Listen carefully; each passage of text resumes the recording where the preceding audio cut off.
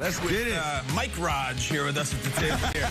All right, last year Bengals Browns was the game of the year. This was not.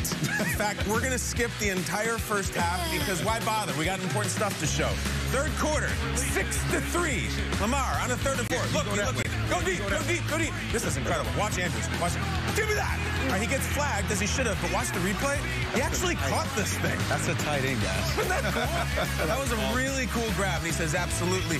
So you got to feed him now. Now it's a third and 10. Still 6-3. Lamar waiting, waiting, waiting, waiting. He goes 70 yards back. Guess who it is? Andrews. Reward him. Feed him. Touchdown. We have an actual touchdown. So then you got Garrett with the heaven. Watch this. There's a great reaction to this. Did you see this? Garrett shakes his hand and Clowney, Hey, Clowney throws his helmet. I think we have it. Watch, we're going to go to a wide shot of the two pass rushers for the Browns. Clowney and Garrett. Clowney is so mad, he just straight up spikes helmets, which you can't do. and Garrett gives him credit. And Garrett's like, hey, he's really good. 13 to 3. Is this guy really good? Second and nine.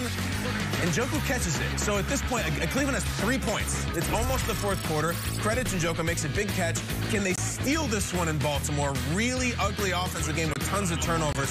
Second and nine, I mentioned turnovers. Lamar wants it all.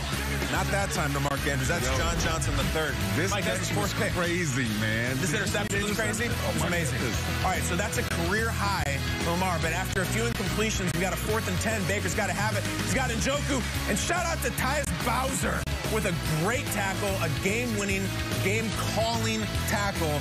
There's Lamar. There's some of the Browns. And after a very low-scoring, you can call it ugly if you want, but 8 and 3 for the Ravens is not. 16 to 10.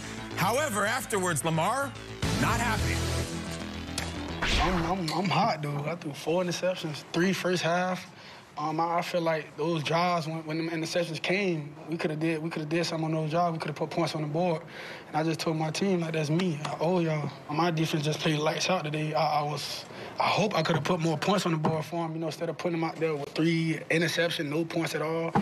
Um, I'm ticked off, but I just I told all those guys, man, way to have way to have our back, way to have my back, cause y'all deserve that. Y'all played lights out. He's ticked off, he's hot, but they got the win. Four interceptions. Baltimore still came out victorious. The last time that happened, it doesn't happen very often, guys, was Andy Dalton back hmm. in 2013. Despite the turnovers,